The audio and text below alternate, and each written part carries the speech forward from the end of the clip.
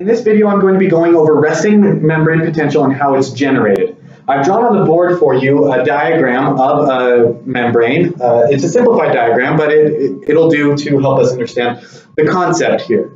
Um, in this diagram, we have our sodium-potassium pump, and we have our various ion channels uh, that we'll talk about in a minute. I've also identified for you the concentration gradients of the ions that we're going to be talking about.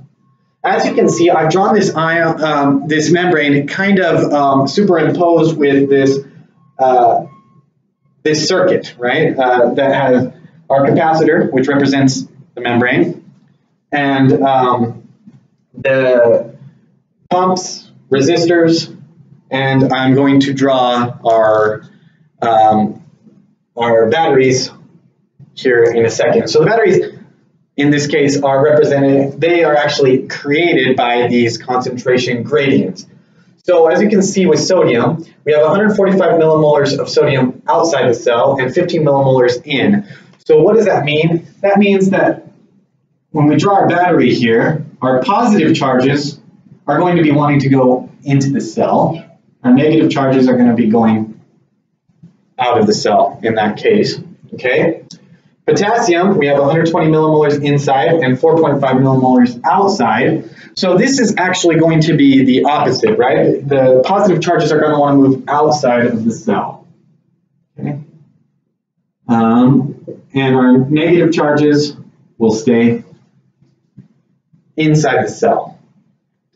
Calcium uh, has 1 millimolar outside the cell and 10 to the negative fourth millimolars inside the cell. So that's going to be moving like uh, like the sodium, positive channels, positive ions are going to want to go into the cell here. And then we have our chloride.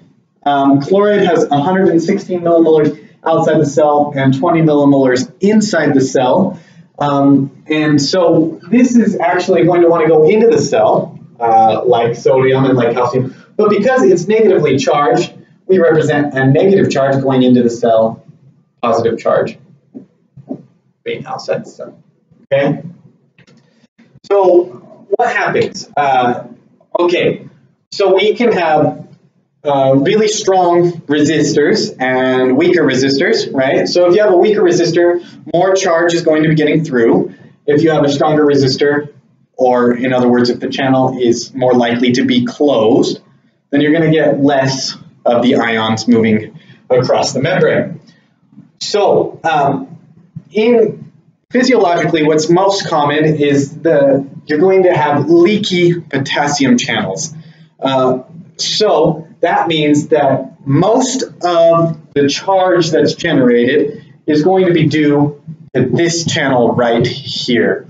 Um, if we were to theoretically have a, a cell that was most leaky to sodium, then most of the charge would actually be caused by the passage of those positive ions through, but that's typically not the case. So let's think about it. If we have mostly positive charges staying on the outside of the cell, um, then you're going to get positive charges to line up out here and negative charges to line up on the inside of the membrane. That's our capacitor there. Um, we actually know that to be the case. Typically, a resting membrane potential is anywhere between negative 40 and negative 80 millivolts. Um, there are exceptions, but that's pretty typical.